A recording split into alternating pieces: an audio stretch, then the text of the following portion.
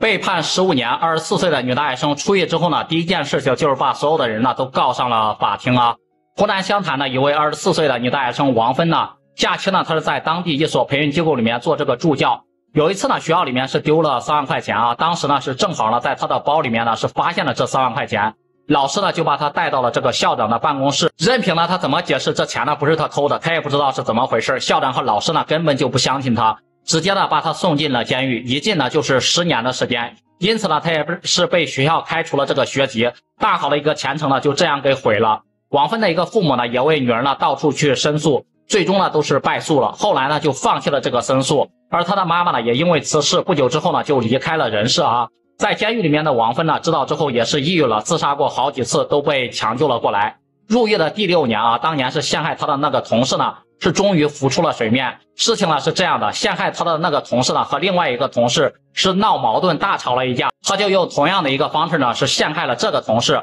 而这次呢恰恰是被这个监控给拍下来了。在整个走尸过程当中呢，再次让陷害王芬的一个事情呢也是一并招供了。没过多久呢，王芬呢也是被无罪释放了，而校长呢也是第一时间呢赶来请求王芬的一个原谅。并且呢，说要赔偿王芬十万块钱作为一个补偿啊。王芬呢也是一口回绝了，五年的一个青春是没有了，他的妈妈也是没了，家也是没了，学业也是没了啊。精神上包括心理上的一个伤害呢，是终身都无法抹去了。至今呢，他都是没有工作，也没有朋友，没有这个社交，与整个社会呢是完全脱轨了。这些呢是不能用这个金钱呢能够来弥补的。王芬呢也把他的一个校长，包括同事呢，包括当年办理此案的所有的官员呢，也是一并告上了这个法庭。你们支持王芬的一个做法吗？也欢迎在评论区里面留言讨论。